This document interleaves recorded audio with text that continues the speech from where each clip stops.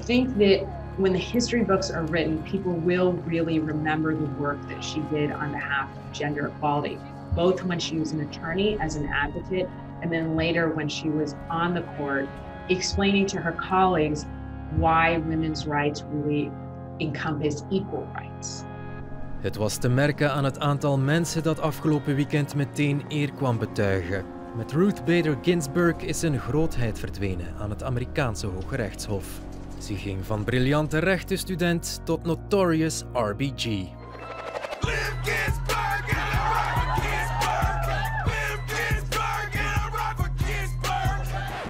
Maar om dat progressief icoon te worden, moest ze zelf heel wat barrières doorbreken. Als jong meisje uit een Joods gezin in Brooklyn was het niet evident om te gaan studeren. Maar onder impuls van haar moeder excelleerde de jonge Ruth. Ze ging naar de Universiteit van Cornell en studeerde rechten aan Harvard en Columbia. In Harvard was ze een van slechts negen vrouwen tussen 543 mannen. Maar in haar studies stak ze die allemaal voorbij. Ook al had ze op dat moment al een dochter.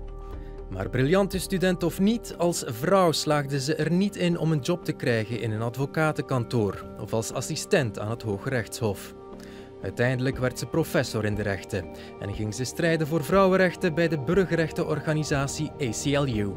My notion was I would like to show my granddaughters that the equal citizenship stature of men and women is a fundamental human right.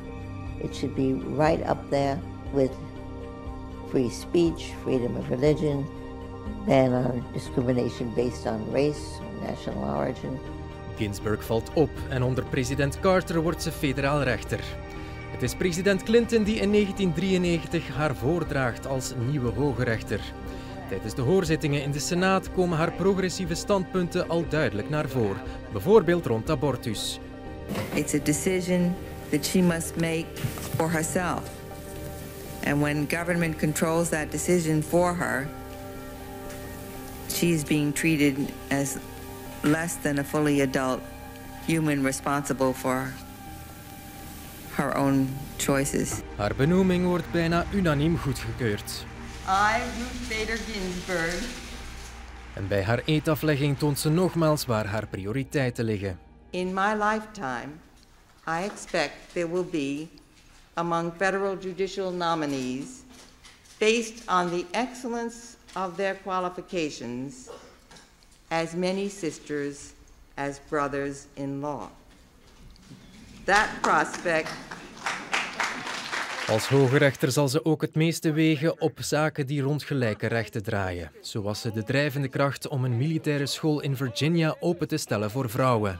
State actors may not close entrance gates based on fixed notions concerning the roles and abilities of males and females. Ginsburg stond bekend voor het overtuigen met zachte hand en ze kon het opvallend goed vinden met haar professionele tegenpolen. You know, what's not to like? Except her views of the law, of course. Maar toen de VS en het Hoge Rechtshof de laatste jaren een meer conservatieve richting insloegen, werd ze steeds feller. Dat het Hof bescherming van de stemmen van minderheden in het zuiden terugschroefde, vond ze een dieptepunt. The worst case, I think, was the voting rights. En ze had ook openlijk kritiek op de president. even for the outspoken Supreme Court justice, an unusually candid political outpouring, calling Trump a faker who says whatever comes into his head at the moment. The verdict is in. You've been Ginsburg. Later zei ze spijt te hebben van die uitspraken, maar het droeg er allemaal toe bij dat ze op handen werd gedragen door progressief Amerika. Want feel like Pretty good. Thanks. It is amazing. And I am soon to be 87 years old, and everyone wants to take a picture with me. Ginsburg werd gezien als de dam die een conservatieve vloedgolf tegenhield. Maar de dam werd fragiel. Maar liefst vijf keer kreeg Ginsburg te maken met kanker. Ze hoopte nog de volgende presidentsverkiezingen te kunnen halen, maar pancreaskanker maakte aan die hoop een einde.